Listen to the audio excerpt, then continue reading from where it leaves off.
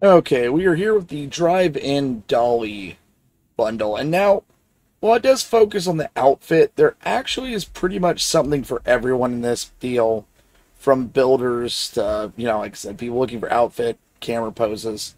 So let's get into it. Let's start off with the wave pose for your camera.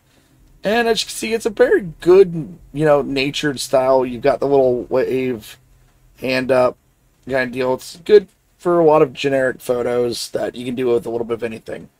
We got the Sugar Bomb skin for the actual Pip-Boy. As you can see, it's got the white and blue. It's got a cleaner finish than some of the other ones. If you enjoy that, it's definitely a good one to have. Then we've got the So Hungry emote. As you can see, it's got a little, you know, like bowl and holding it in front of him.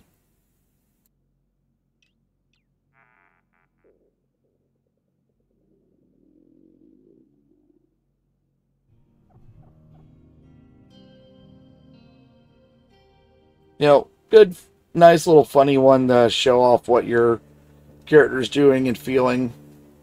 You got the Nuka Quantum Cola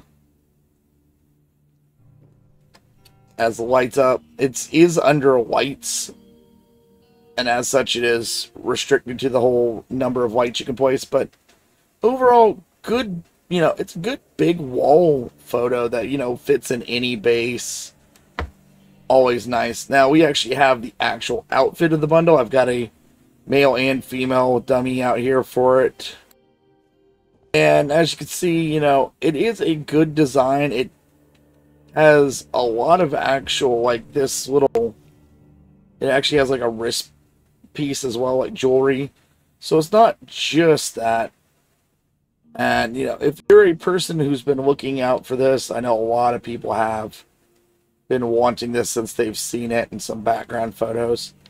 It looks good. You know, it fits the Fallout theme of the universe and year. You know, the pants look a little bit worn and run down. Every part of it actually has a really good. It's a simple outfit, but it works for what it is. Now we've got the Corvega seat, which I can see you got rust and everything else on it. It is a nice little seat. It's actually, you know, you could put it on your thing. You can have it in a junkyard. I mean, there's a lot of nice little things that you can do with this. We have the tire toilet, which has our friendly mole rat in it. And yeah, if you click it, he pops up. The overall design of it works pretty good. It's got, you know, the standard outhouse design. And down here, you've got the little piping down to the ground. You know, it's a great piece. Once again, like I say, I really like sets that can be used outside of just a single place. You could see this in a Raider Camp Scavenger Responder. I mean, any place that just needs an outhouse. It's a little funny as well everything about it. You got the hot rod power set, and you know, once again, a nice one that can go anywhere. Doesn't you know take up too much area. Looks good.